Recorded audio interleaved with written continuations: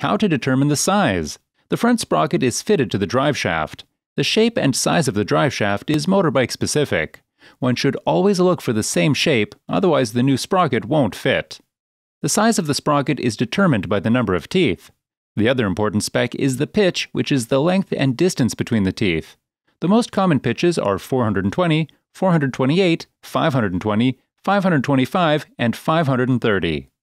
The pitch and the number of teeth is always shown on the sprocket. However, if for some reason it is not visible, you can also count the number of teeth and take the pitch from the rear sprocket or the chain.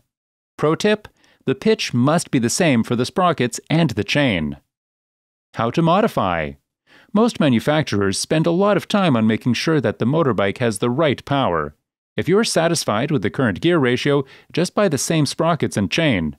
This way, you will know that it perfectly fits your motorbike and you will get the manufacturer specified acceleration and top speed.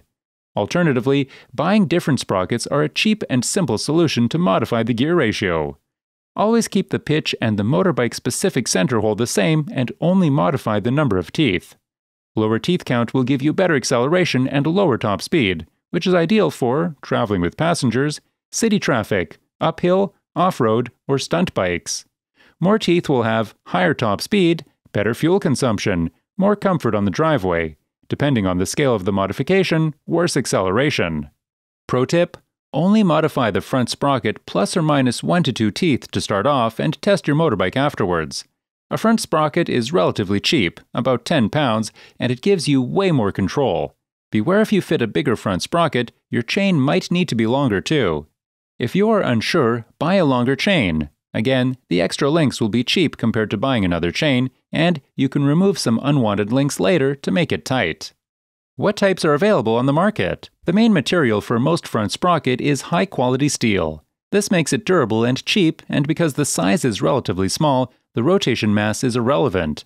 Since most of the time the front sprocket is not visible, the main characteristic of the sprocket is based on performance rather than appearance.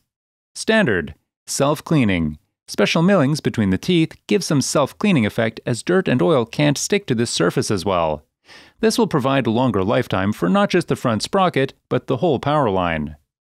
Rubber cushed. The center of the sprocket is connected to the outer teeth with a flexible rubber cushed connection. This makes the transition smoother. If you liked this video, please don't forget to give it a like. If you would like to see similar content, please subscribe to the channel and turn on all notifications.